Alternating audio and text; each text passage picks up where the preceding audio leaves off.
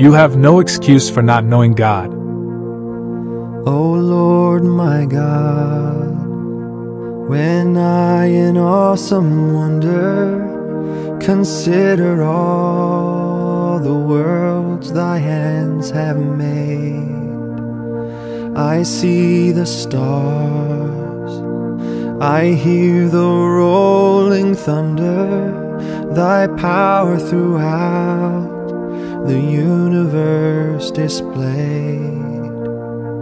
Then sings my soul, my Savior God, to thee. How great thou art, how great thou art. Then sings my soul, my Savior God, to thee. How great thou art, how great thou art.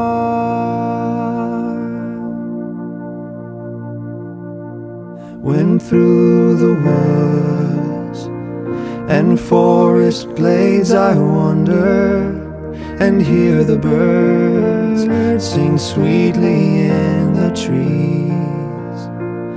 When I look down from lofty mountain grandeur and hear the brook and feel the gentle breeze. Then sings my soul, my Savior God, to thee. How great thou art, how great thou art. Then sings my soul, my Savior God, to thee. How great thou art, how great thou art.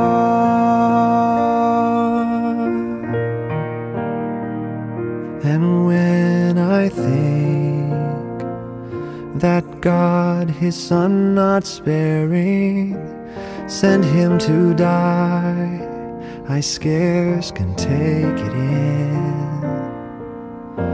That on a cross, my burdens gladly bearing, he bled and died to take away my sin. Then sings my soul, my Savior God, to thee. How great thou art, how great thou art. Then sings my soul, my Savior God, to thee. How great thou art, how great thou art.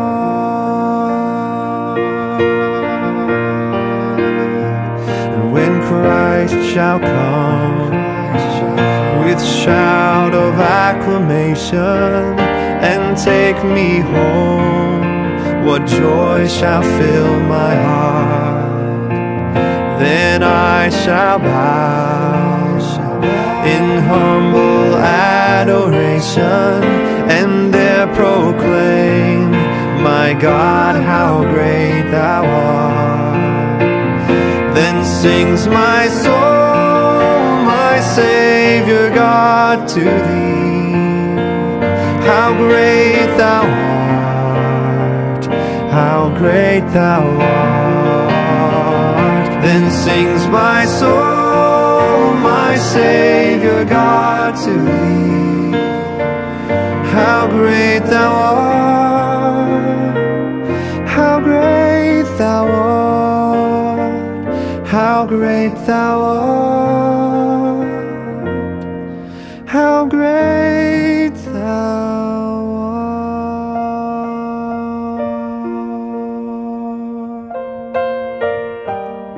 For ever since the world was created, people have seen the earth and sky. Through everything God made, they can clearly see His invisible qualities, His eternal power and divine nature. So you have no excuse for not knowing God.